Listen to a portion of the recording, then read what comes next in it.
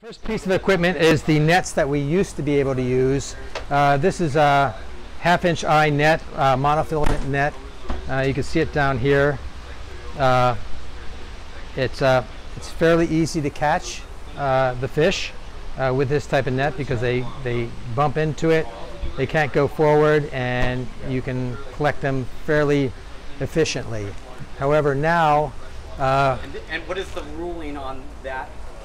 The ruling, the, the, the Supreme Court ruling now states that we cannot use fine mesh nets, anything uh, uh, smaller than two inch eye net. It's illegal. That's illegal, yeah. Okay.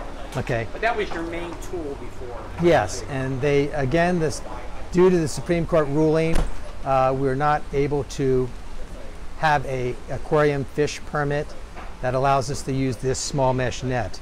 Uh, so right now we have to resort to our commercial marine licenses, which allow us to use two inch eye net.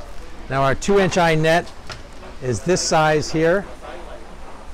These are our hand nets. Uh, as you can see, it's a much larger in size. Uh, a lot of the smaller fish go through it, but we are able to catch uh, some of the medium to larger size fish.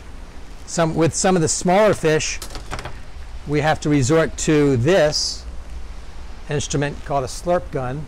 And the slurp gun, if used correctly, can go down and corral the smaller fish. So we are able to catch some of the smaller fish, but not a lot. They take a lot more time, a lot more fishing pressure needs to be exerted on to collect that tropical fish.